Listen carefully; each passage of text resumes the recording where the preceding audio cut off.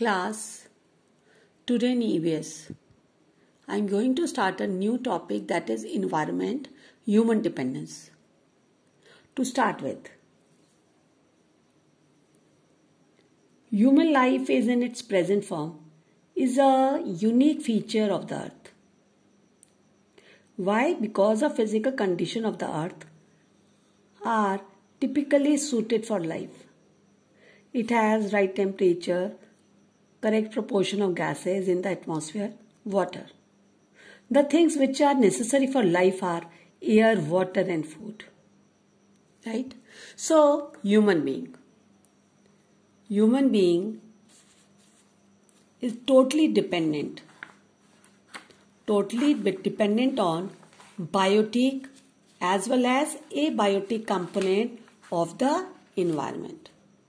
It means that environment consist of biotic factors and abiotic factors.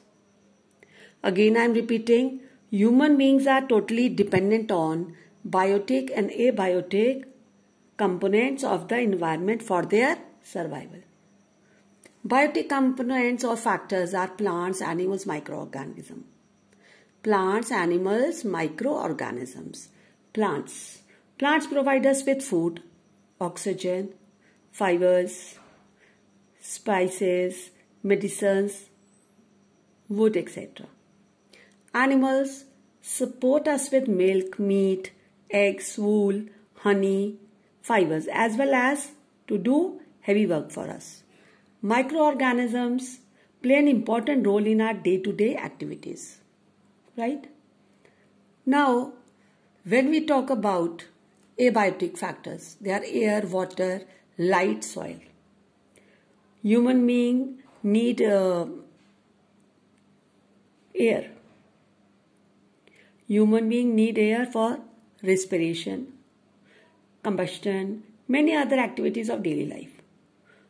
Human need water for drinking cleaning irrigation and to produce electricity. Now sunlight light. Sunlight enables that is photosynthesis which provide us with food and oxygen means that photosynthesis can take place